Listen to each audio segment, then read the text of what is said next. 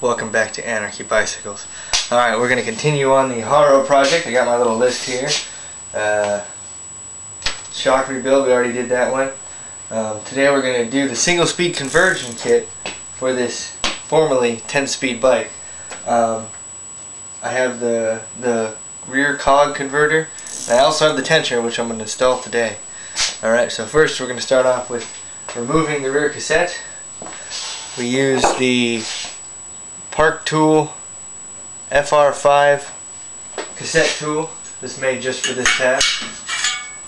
And it works very simply. First you want to take off your, your skewer nut and spring. Be careful not to lose that spring.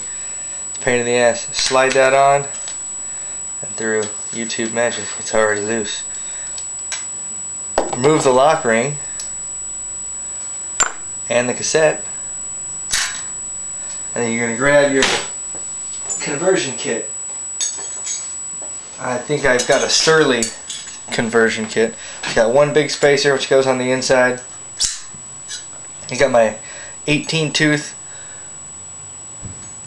single speed gear which has longer deeper teeth because it doesn't need to go anywhere it's staying on that chain or on that gear slide that on there okay line up the teeth